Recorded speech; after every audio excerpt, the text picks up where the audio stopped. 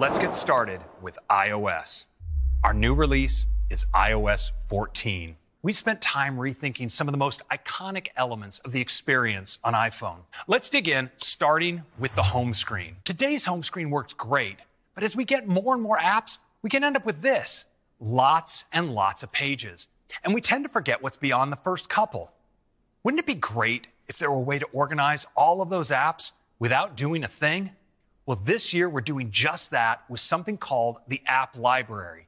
It's a new space at the end of your home screen pages that automatically organizes all your apps in one simple and easy to navigate view. I've lost track of where a lot of things are, and that's where the App Library comes in. You can see that all of my apps are automatically organized here. In fact, now with the App Library, I actually don't need all those pages for all my apps. So we created an easy way to hide app pages. I just go into jiggle mode tap the dots at the bottom, and check this out. I get a zoomed out view of all my app pages. I can simply tap to hide the pages I no longer need. Just like that. And now with those pages hidden, App Library is always just a swipe or two away. So here in App Library, getting to the app I'm looking for is really easy. Up at the top, I have the search field, and I get all my apps organized from A to Z. Now over here on the upper left, I have suggestions. It uses on device intelligence to show me the apps that I'm likely to need next. And on the right is recently added, giving me access to the apps that I've recently downloaded from the App Store. And below are intelligently curated categories. So I can tap into a category like Apple Arcade and see all of my apps in that category. Well, now let's go back. You may notice that in each of these categories, the apps I use most are right here at the top level. So I can launch one of these directly with just a tap. Next, let's turn to widgets. To start, they're more beautiful and data rich.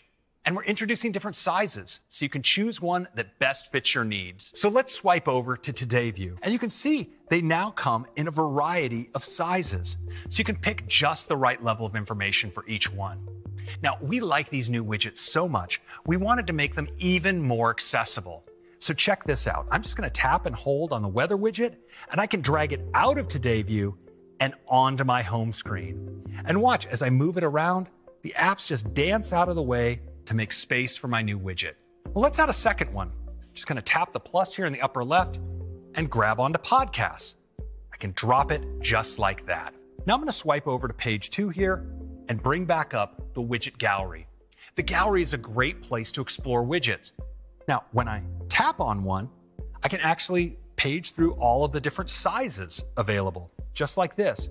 But you know, right now what I want to do is grab this widget up top. It's a really special one. It's called the Smart Stack. I'm just going to tap it and drop it here. With the Smart Stack, I can easily swipe through widgets to pick just the one I want for the moment. Next, we're also bringing picture in picture to iPhone. So you can access apps on your iPhone while watching video or talking on a FaceTime call. Let me show you. So here on my home screen, the Smart Stack is showing me the TV widget, so I can just tap to start playing a show. Now check this out. When I swipe to go home, the video automatically goes into picture in picture right over the home screen. And when I launch another app, like Notes, I can keep watching. Now I can drag the picture to another part of the screen. If I want to make it bigger, I can even pinch to zoom. And as I move between applications, it stays with me. And what's cool is I can also swipe it to the side and the audio keeps playing when it's off screen. Now, here on the home screen, I can bring it back out if I want. And I have controls to get back to full screen playback, or I can just tap the X to close it. Another iconic experience that's getting a major update is Siri. For example, if you say, open Safari, Siri pops up at the bottom of the screen and instantly launches the app. Or if you ask for information, like the weather, results appear at the top of the screen, just like a notification. Now, this is especially great when there's information you want to reference on screen. For example, you could ask Siri to add to your grocery list. Siri is getting smarter and even more helpful every day. This year, you can now ask Siri to send an audio message, and Siri will start recording. Another popular way to send messages with your voice is using dictation. Keyboard dictation uses the same speech recognition as Siri.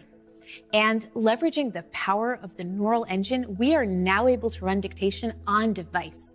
This provides great accuracy and privacy. We're introducing a new app called Translate. It is designed to be the best and easiest to use app for conversations, and it can work completely offline, keeping your conversations private. Using advanced on-device machine learning and the powerful neural engine, you can translate your text and voice between any combination of these 11 languages. Next up, messages. First, let's get started with conversations. From the beginning, Messages was designed to make it really easy to get to your newest messages.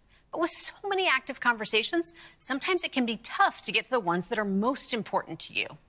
So we are introducing a new way to let you stay connected to your most important conversations by letting you pin them at the top of your list so you can always get to them.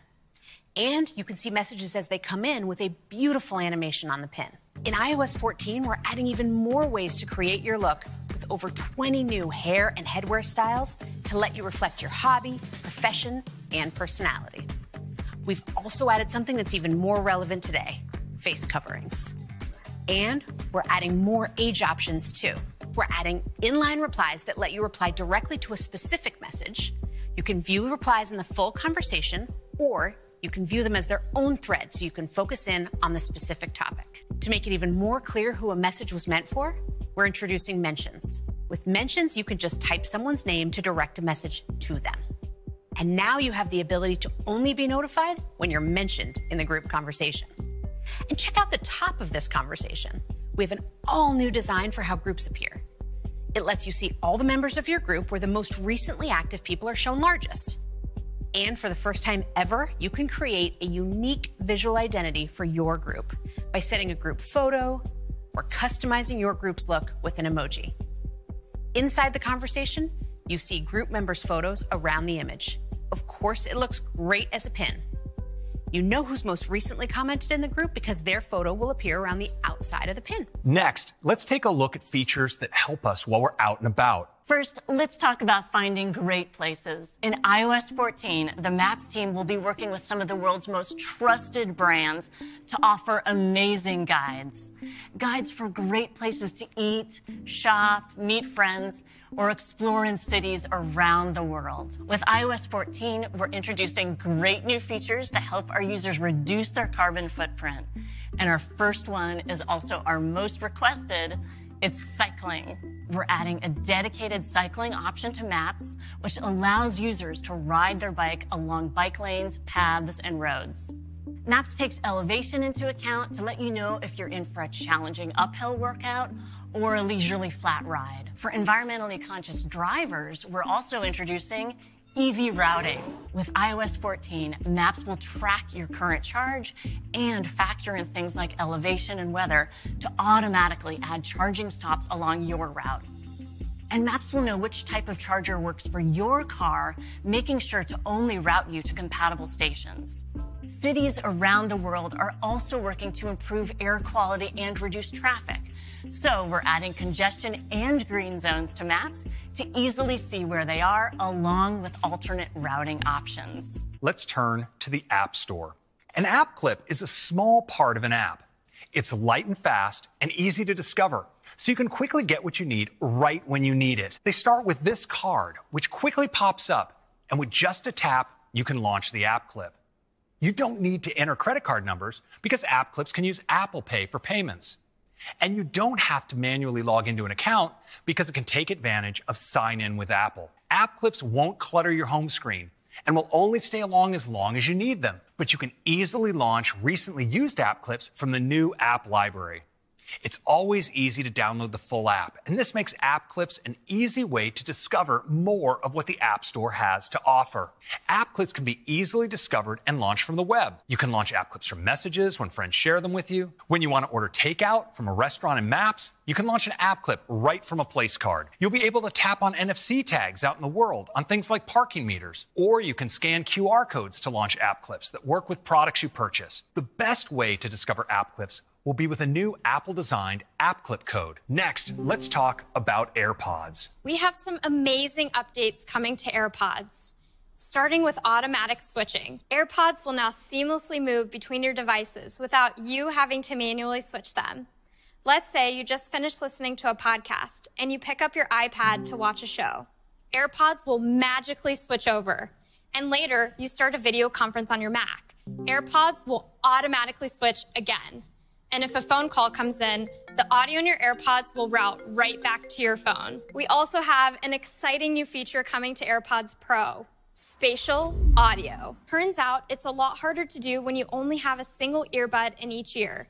So our team created advanced spatial audio algorithms for AirPods Pro that replicate the movie theater experience.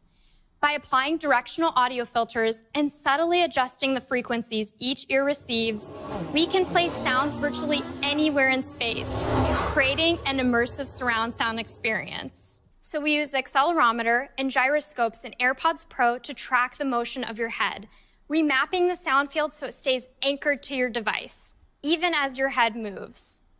And it's not only your head that can move, but you might move your iPad or iPhone as well. That's why we constantly compare the motion data from your head and your screen to understand how they're moving in relation to each other. Spatial audio for AirPods Pro will work with content encoded in 5.1, 7.1, and even Dolby Atmos. And that's iOS 14.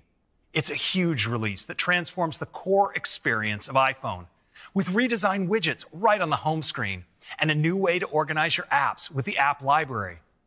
It adds incredible updates to some of the most popular apps with powerful improvements to messages and maps and introduces a whole new way to tap into apps with app clips.